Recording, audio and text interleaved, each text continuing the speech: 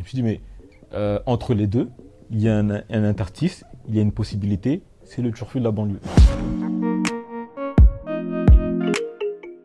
Lorsque j'étais à euh, Startup Manager à, Station F, et en fait le matin je me réveillais, je faisais 1h30 de trajet pour aller à Station F, et je vivais dans un espace entre guillemets futuriste, en tout cas qui essayait, qui essayait d'inventer les startups de demain, et le soir je rentrais euh, au, quartier et c'était tout un, autre euh, environnement. Après ça, j'ai travaillé euh, en école de design sur l'interaction entre la culture hip-hop et la, culture- la culture Silicon Valley.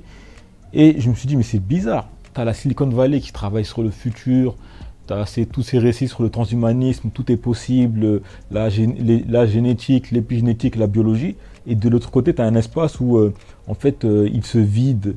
Euh, c'est un espace désenchanté, noir. Je me suis dit, mais entre les deux, il y a un, un interstice, il y a une possibilité, c'est le turfu de la banlieue. D'abord, c'est un projet commun. Nous rêvons ensemble. Le succès, la réussite d'une personne, d'un mec de quartier, d'une meuf de quartier, ne fait pas le succès de, la banlieue, et encore moins de son environnement. Ce rêve commun, il prend racine dans la chicha.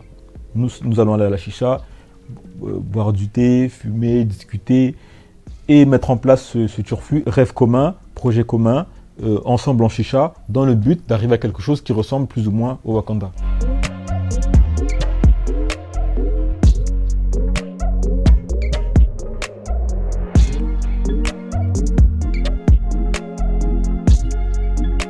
Le turfu, c'est technologique, mais c'est aussi émotionnel. Mais c'est pas que technologique et émotionnel, c'est aussi philosophique.